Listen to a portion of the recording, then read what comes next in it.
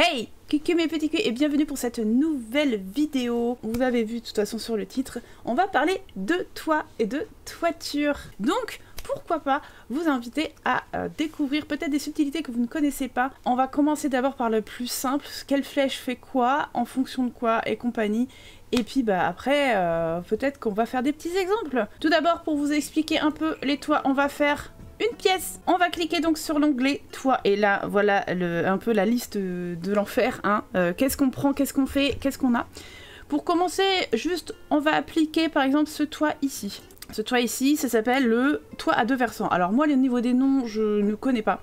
Donc je les appelle par exemple le toit euh, triangle, le toit carré, le demi-toit, le toit avec le côté plat, le 6, le 8, le 5, le rond, et euh, ça c'est quand c'est en diagonale. Voilà. Donc ce toit ici par exemple, on l'a et ça se pose comme vous pouvez le voir déjà. On active la grille et comme vous pouvez le voir déjà, on est sur une surface de 3 sur 3, ce qui fait 9 carreaux. Par exemple, on va le placer au bord de notre rectangle ici.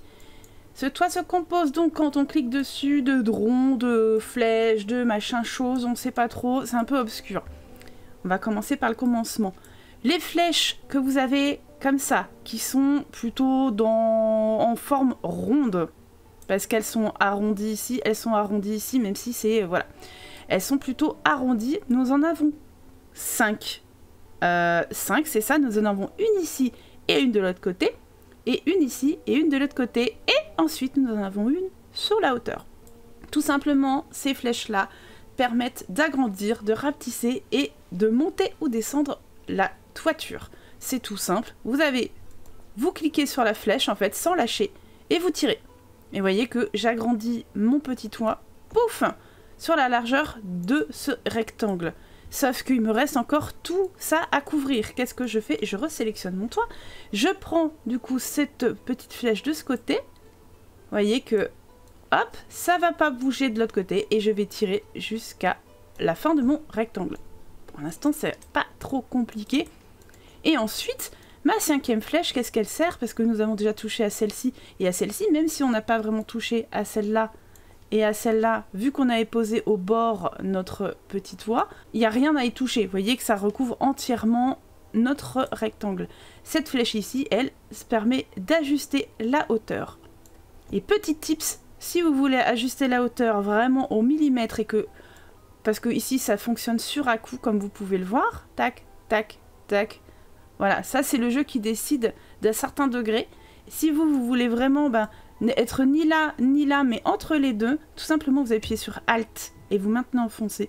Et vous pouvez jouer, regardez, c'est beaucoup plus souple et vous pouvez faire vraiment la hauteur que vous désirez. Et c'est très utile quand vous commencez à faire une maison avec plusieurs toits, que vous voulez matcher les hauteurs. Ensuite, nous avons d'autres petites flèches, des petites flèches en forme de triangle. Vous les voyez, elles sont là, elles n'ont pas de queue elles ont juste la tête. Donc ça, c'est un bon indice pour les reconnaître et les différencier. Toutes petites flèches comme ça, quand vous les sélectionnez, en fait, vont bouger les bords du toit. Voilà, par exemple, j'ai complètement tiré, je lâche, et vous voyez que ben, le toit avec les murs n'a pas bougé. C'est exactement ce qu'on a défini tout à l'heure. Mais c'est la bordure qui, elle, est très extensible. C'est très très moche, hein, on va pas se cacher, mais ça permet aussi de faire en sorte que votre toit ne dépasse pas du tout, comme vous pouvez le voir par rapport au mur.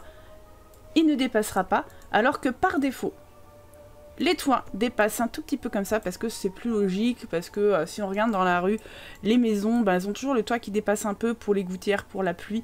Quand ça dégouline, faut pas que ça aille directement sur la façade et que ça sauve un peu quelque, quelque part un peu les murs. Sachez que ces bordures sont donc modifiables et de chaque côté. Si je veux juste allonger ce côté mais pas ce côté là, c'est-à-dire je sélectionne ma petite flèche, je plie sur Shift en même temps, c'est une queue de chat, vous ne rêvez pas, et je tire, voilà. Et d'un côté nous avons donc le toit qui s'est allongé mais pas de l'autre.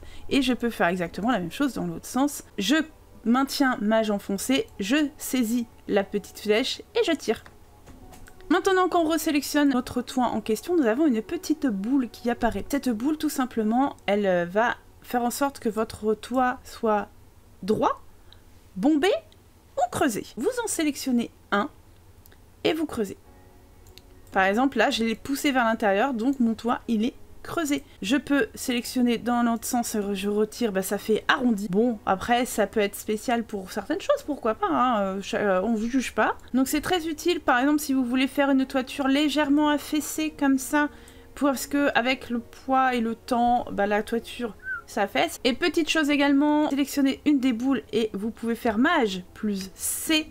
Et là, bah, oh mon dieu, ça s'est transformé en trois boules. Pourquoi? Eh ben c'est pareil, ça fera exactement la même chose, sauf que au lieu de faire juste un très gros rond bombé ou un creux, vous pourrez jouer avec les formes. C'est-à-dire que là, vous pouvez arrondir, creuser ensuite et re-arrondir. Et vous avez plutôt un toit en forme de vague. C'est plutôt sympa. Et vous pouvez faire exactement le contraire, creuser, puis bombé. Vous voyez que ça fait euh, un petit peu comme une parenthèse là. Qu'en est-il ensuite sur une vraie construction une fois qu'on a construit nos murs et notre base? Comment faire pour arriver à faire une toiture à peu près correcte? J'ai pris cette euh, coquille sur la galerie. Je crois que c'est Spring Sims qui l'a fait, euh, donc pourquoi pas la faire? Si vous ne voulez pas trop vous embêter, faire ben, un toit moderne. Qu'est-ce qu'un toit moderne? C'est simplement avec des demi-murs. Par exemple, cette hauteur-là de demi-mur est pas mal. Vous faites bah, exactement la même chose que ce que vous avez au-dessus et vous recouvrez euh, entièrement. Ça ne crée pas de pièces puisque ce n'est seulement des demi-murs. Mais voilà, ça fait déjà une toiture un peu sympa. Vous la mettez d'une couleur différente ou d'une hauteur différente. Ici, vous pouvez combler si vous le voulez avec une plateforme. On va mettre ça. Clac, on va re alors bien sûr, ça nous... Ah oui, les plateformes, j'avais oublié que ça faisait sauter les murs. Quel plaisir Je la fais monter de plusieurs niveaux. Ça peut faire un toit lui tout seul et vous pouvez bah, repasser du coup, si vous le voulez, un demi-mur. Par exemple là, bon je suis allée un petit peu trop haute, mais vous pouvez euh, recouvrir... Euh, on n'a pas les fondations qui peuvent matcher avec la couleur de vos murs une fois que vous faites la maison. Donc c'est pour ça qu'avoir l'outil plateforme plus demi-mur par-dessus, ça peut être un bon deal. Voilà un mur et un toit moderne, puisque bah, ça vous crée une petite hauteur et en même temps c'est plat et c'est blindé et c'est plutôt pas mal. En vrai, ça marche avec cette forme-là. Hein. Et ici, si vous voulez, vous pouvez soit refaire encore des demi-murs, comme ceci, vous voyez que ça marche super bien, moi je trouve que c'est très mignon, et en plus de ça, ça peut marcher en tant que terrasse également. Mais avec l'outil des toits classiques, qu'en est-il? Comment on fonctionne?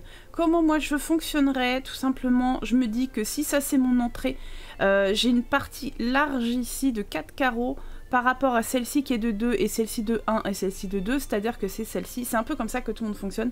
Pour moi, c'est celle-ci qu'il faut ouvrir euh, du plus gros toit. Donc c'est-à-dire on va mettre celui-là, le V, hein, comme je l'appelle, et on va les tirer jusque là. Il reste encore deux parties et d'autres des deux côtés de ce premier toit. Donc qu'est-ce que je peux faire? Je peux prendre celui-là et le coller par ici. En plus c'est nickel, c'est 3 sur 3, donc à partir de là, ça bug pas et ça colle un petit peu. De l'autre côté, on a 4 et 2. On peut faire la même chose, recoller ici quelque chose comme ça voyez qu'ici, comme ça, ça ne rentre pas, et eh ben vous étirez, comme je vous ai montré tout à l'heure. Et quand vous voyez que ça dépasse un peu, vous réduisez avec la petite flèche triangle, paf, et là, c'est nickel. Bien sûr, si vous voulez jouer avec les hauteurs, par exemple pour celui-là, qui est un petit peu en bas, vous montez. Mais pareil, ça veut dire aussi qu'il faut allonger, donc vous pouvez tirer que d'un côté avec la flèche triangle et baisser le toit pour matcher avec la hauteur voulue. Voilà, c'est pas pile en face, mais ça match. Sur l'étage, il reste un petit carré. Alors, soit on peut faire encore un tout petit truc comme ça. Hop, soit on fait comme ça, mais en général, bon, ça matche pas trop, c'est pas trop ce qui est joli. Donc on peut soit l'agrandir pour matcher la largeur totale, comme ça vous voyez que ça recouvre les deux. On joue avec les hauteurs de toit et les bordures pour faire quoi? Pour faire en sorte que euh, ça ne dépasse pas, et ça on la baisse pour pas que ça dépasse. Et on est sur quelque chose qui est comme ça et c'est beaucoup plus mignon. Bon par contre l'inconvénient de ce genre de toit c'est qu'effectivement on a la bordure qui dépasse là. Donc le truc c'est qu'il faudrait que ça ne dépasse pas de ce côté. Donc avec la petite flèche triangle on réduit la bordure que d'un seul côté comme ça ça ne déborde pas à l'intérieur et pareil ici voilà Après, si c'est vraiment dérangeant que vous savez c'est pas symétrique avec la bordure ici, on peut tout simplement réduire la bordure des deux côtés. Maintenant que j'ai fait mon étage, je vais passer euh, bah, tout simplement euh, l'étage du dessous. Ici, j'ai une grande partie et une plus petite partie d'un seul carreau. Comment je réduirai, comment je ferai Je ferai qu'un seul toit. Et pour euh, ce genre de toit, je mets celui-là. Je mets celui-ci parce qu'il s'adapte plutôt bien.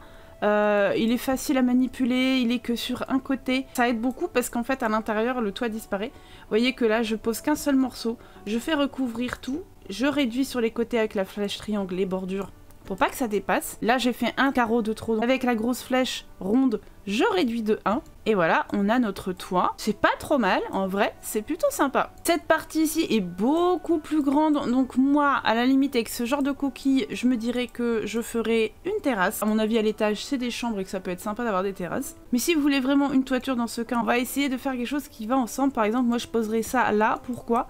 Parce que si ça c'est mon entrée un petit peu en retrait, donc c'est-à-dire que je vais le mettre en avant avec cette toiture ici. Je réduirai ici, je réduis la bordure derrière, et même carrément je laisse qu'un seul carreau. Je pense que c'est largement mieux parce qu'avec à partir de cette coquille vous pouvez vraiment faire quelque chose de sympa. Par exemple là j'utiliserai le demi-toit, je le réduirai sur un seul carreau, je réduis toutes les bordures de tous les côtés et j'étends pour aller jusqu'ici. Pourquoi? Parce que je pense que je ferais une terrasse, tout simplement, vraiment. C'est-à-dire que là, je ferais vraiment une terrasse. Je prendrais l'outil mur et avec les demi-murs, je m'arrangerai pour faire une petite terrasse ici. Voilà. Et du coup, mon, toit, je n'ai pas besoin de le faire dépasser. C'est-à-dire que mon toit, maintenant, j'appuie sur Alt et je peux matcher la hauteur de mon demi-mur. Comme ça sans que ça dépasse et sans que ça fasse trop moche. Bien sûr, il y a ce toit ici qui dépasse beaucoup. Dans ce cas-là, bah, qu'est-ce qu'on fait? Euh, On prend Alt aussi et on baisse la hauteur. Faut pas que ça fasse trop trop moche. Voilà, bon, c'est pas non plus impec impec. Hein. Je vous l'ai dit que j'étais pas la professionnelle. Hein. Mais euh, ça peut matcher. Et bon, je trouve que les bordures sont pas jolies. Donc je réduis les bordures. Et ça fait quelque chose comme ça. C'est original peut-être, mais ça vous rajoute une terrasse et une petite toiture. Et ensuite, pour ce morceau de toit là, je peux reprendre exactement ce que j'ai fait de l'autre côté. C'est-à-dire que soit on recouvre le tout comme ça. Quand vous avez un toit sélectionné, de toute façon, vous l'avez vu, vous avez toujours les flèches de visible, mais parfois elles sont à l'intérieur de la maison. Donc euh, il faut peut-être s'approcher. Moi je la vois, mais des fois il faut la voir, euh, il faut bouger pour voir qu'il y a un bout de, de flèche à l'intérieur. Et elles sont complètement attrapables. Hein. Et là, vous réduisez comme ça. Vous réduisez peut-être cette bordure-là avec Shift. Ou alors, vous pouvez faire aussi encore, c'est réduire et refaire une terrasse ici. Pourquoi pas? Ce genre de plateforme avec... Euh, il y a quand même, c'est assez large et c'est assez euh, alambiqué. Moi, je trouve qu'on peut faire beaucoup de terrasses. Et soit ça match mieux, donc on remet le toit comme ça. Avec, pourquoi pas, la terrasse qui va jusqu'ici et on a quelque chose de sympa. Ensuite, quand vous avez un toit qui est vraiment qui dépasse, le mieux c'est de rajouter une colonne, bien sûr qui va avec la couleur de, vos, de votre extérieur et tout ça. Après ces petits bouts ici, bon bah c'est complètement un peu bizarre. Je mettrai à ce genre de toit. Ça aussi c'est quelque chose à savoir, c'est que voyez, là j'étais toujours en total, et quand la grille n'apparaît pas, en fait, c'est très compliqué de poser un toit si vous n'avez pas la grille au bon niveau. Comme là, c'est sur euh, le plafond du premier niveau, alors que j'ai la grille qui est affichée sur le deuxième niveau, je dois descendre d'un niveau. Là, vous avez votre grille, vous voyez que le toit s'applique facilement. Alors que si vous êtes euh, en haut, bah, le, toit, vous allez pas, vous allez avoir du mal à le poser. Je descends ma grille et je pose mon toit. Je réduis parce que cette partie fait qu'un seul carreau. Et vous voyez que bah, là j'ai toutes mes bordures qui dépassent, c'est pas très joli. Donc on peut réduire avec les petites flèches triangles. C'est pas l'idéal parce que ce genre de petits trucs comme ça, soit vous faites qu'un seul, soit dans ce cas-là vous osez allonger pour en faire jusque deux. Moi je trouve que c'est pas trop trop mal. En fonction de après les couleurs, vous pouvez les adapter. Et on se retrouve très bientôt pour une autre vidéo. Je vous fais des gros bisous. À très bientôt. Ciao ciao